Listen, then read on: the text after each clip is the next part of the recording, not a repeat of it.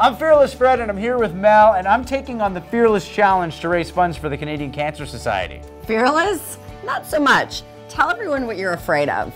I am afraid of heights. And so I'm going to be going skydiving provided I can hit my fundraising goal of $2,500. I'm also looking for 25 Edge listeners to join my team so that together we can conquer our fears just like those living with cancer have to do on a daily basis. And someone from your team is going to win $1,000. So I need you to join my team, pick a fear and set a pledge amount, and then reach out to family and friends to donate. And when you reach your donation goal, you need to record yourself conquering your fear, then post it on your donation page for everyone who gave you money to see.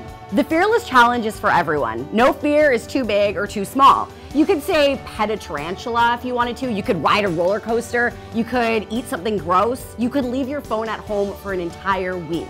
Picking a fear is totally up to you. So join my team, select your fear, and then we can help raise funds to fight cancer. What are you waiting for?